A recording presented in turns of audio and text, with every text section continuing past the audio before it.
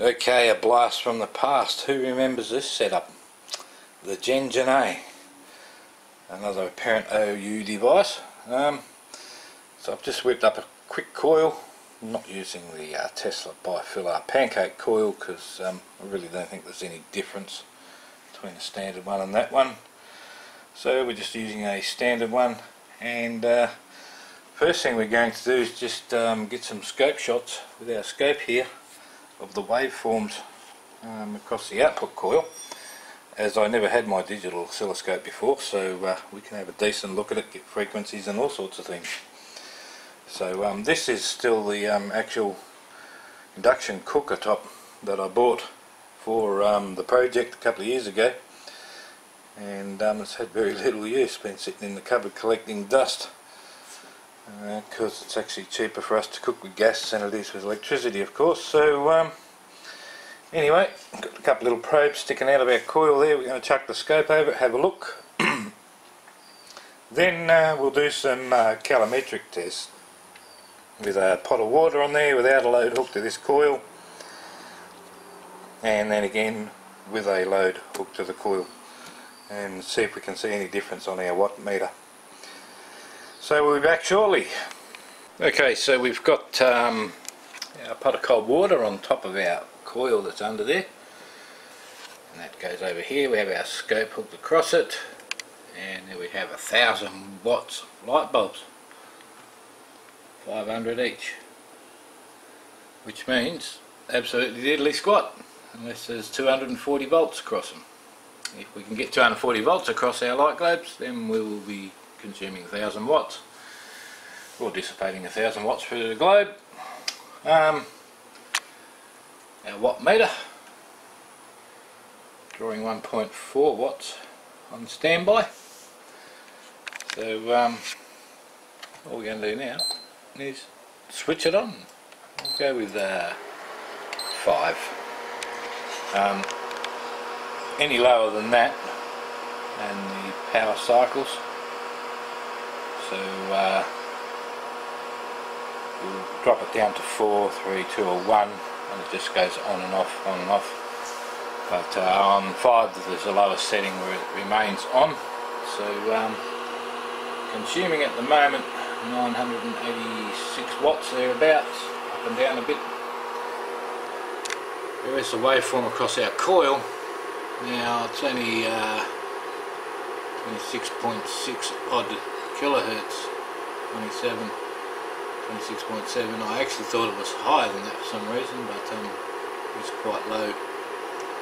Uh, 40 volts RMS 125 126 peak to peak. So um, coil obviously needs um, twice the amount of turns and uh, that would give us somewhere around 240 volts. So um, although RMS voltage is only 44 so we'll probably need a lot more turns. Anyway let's hook up our uh, light bulbs. Once again our wattage is 977 thereabouts up and down. A few watts here and there. Power factor of 96, now that power factor thing's got me a bit baffled because um, the incandescent bulb reads 01 and um, the transformer is around 19 and this reads around 96 so um, who knows? Anyway let's hook some globes up. So there we go definitely not a thousand watts being dissipated across them. Uh, RMS voltage pretty much the same. 136 volts peak to peak 138 140 uh, 988 so while watching that I'll just disconnect the light bulbs. There you go 74, 76, 77. Look them back up.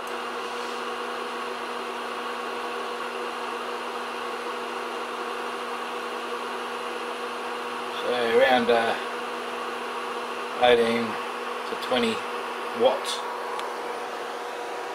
we see when we plug the uh, globes on. They're probably dissipating more than that but I would also imagine we now have less um, power if you want to call it that to uh, heat the water so there'll be um, less of the magnetic field getting to the pot because some of it's being used to convert um, our uh, power going to our lights through the coil. So um, we definitely see a reflection when we hook the lights on through our watt meter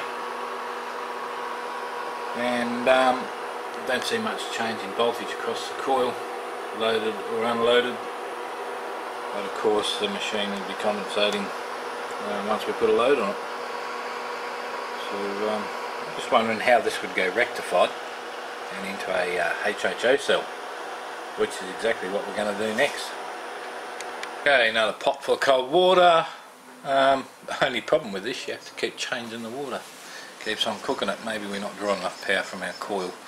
Anyway, uh, we just got a single tube cell in there, wave bridge rectifier. We're going to fire it up and uh, see how our hydrogen production goes. Start on a low 5. just our time scale here now you're seeing the rectified AC with the uh, a further and uh, not very exciting signal that one so rectified AC going into the cell with uh, lots of little pulses 36 kilohertz pulses through each AC wave. Um, so I guess we'll just hook up the uh, power to the uh, cell and see what happens.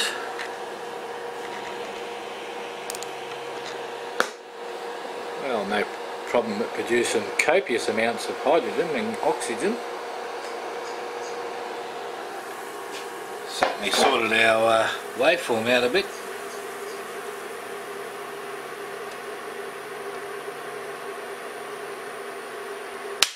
Oh, there you go. Bit too much uh, power for the old um, rectifiers. Completely exploded. There you go. Tin Man's first explosion for a couple of years. So um, blew that completely in half. I can actually have a look inside the rectifier now. So um, mm, so good for 6 amps. Quite catch what the uh, voltage was across those, but um, had about uh, was it 44 volts RMS before, rectified at 6 amps. So 280, I mean, around 300 watts maybe, was going into that cell, which was why it was producing a lot of gas. So my clip leads aren't actually hot. Well, that one's a bit warm. Now, be a really good time to have a look, see what happens when we put AC across our cell. Apparently we get no production, but I wonder if that's the case when you have a high frequency. Alright, so let's have a look at that. Ah, here we go.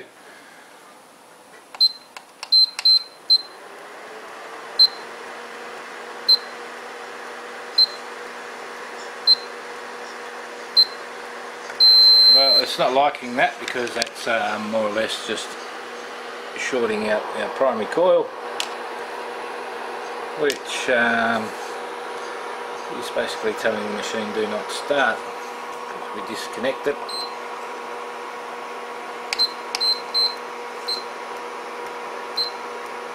Okay, still not. So that can only mean that those other diodes also shorted out.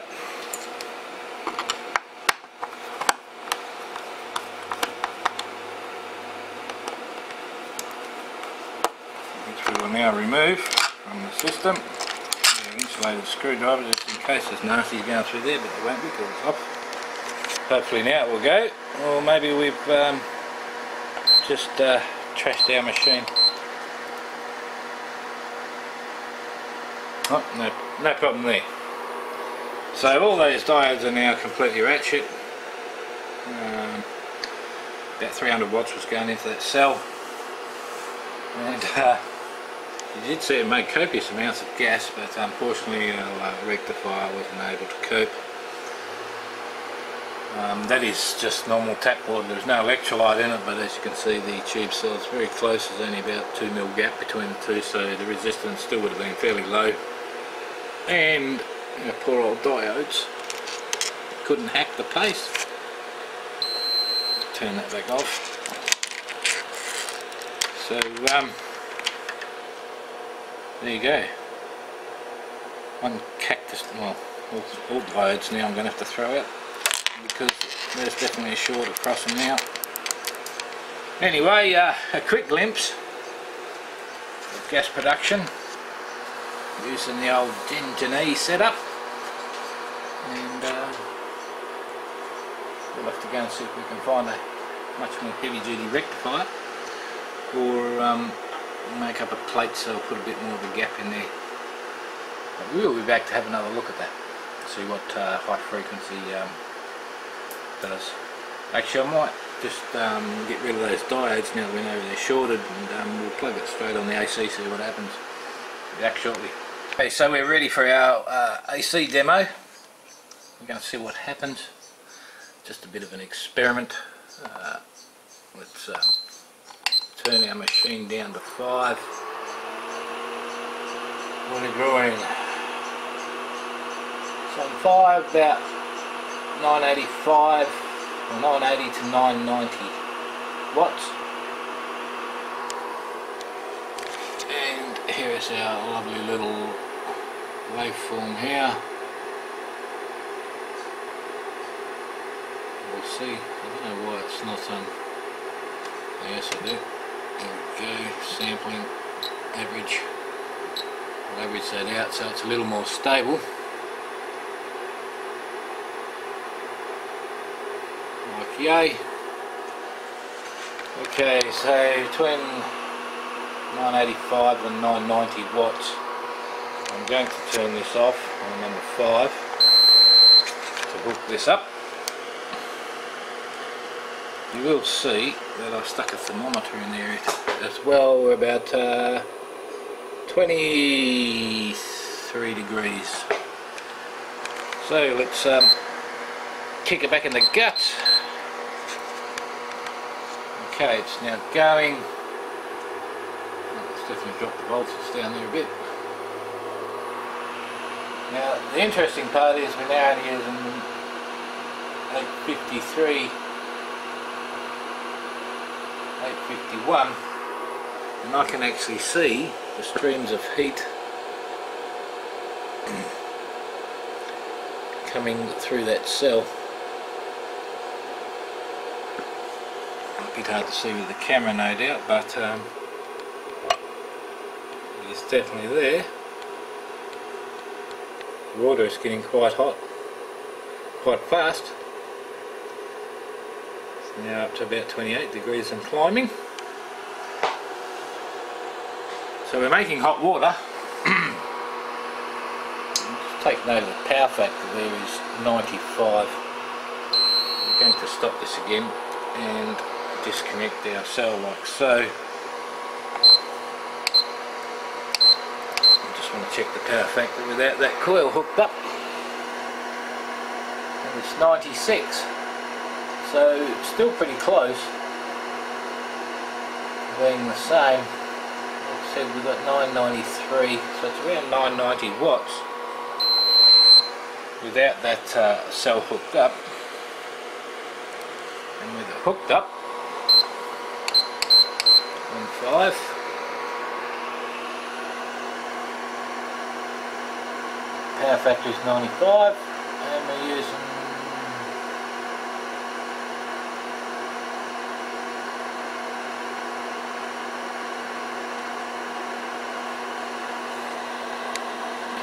850 and 860 watts. So we dropped 130 watts for some reason. Um, by hooking that up and that is um, definitely pumping out the hot water. It's actually good having that multimeter behind there. As you can probably see the distortions from the heat coming off of the uh, cell.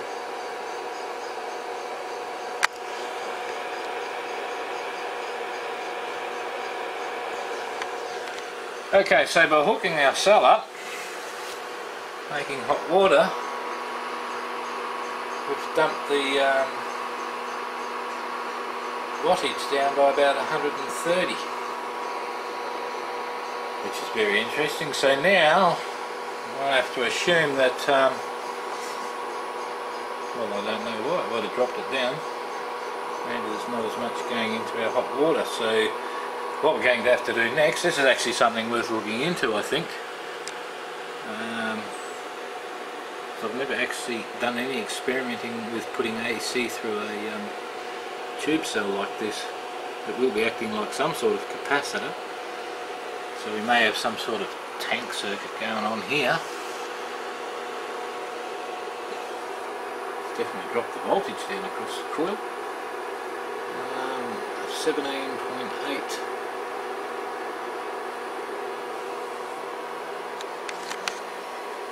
we got uh, 32 volts RMS 100 volts peak to peak So I'm just going to disconnect that and have a look at that again. Now I know there's a lot of current going through there because um, uh, clip lead's awfully warm now.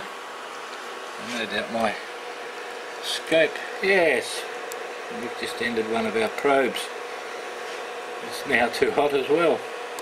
Oh well, we might as well keep it on the job now that's bugging. Um, okay, back to 5.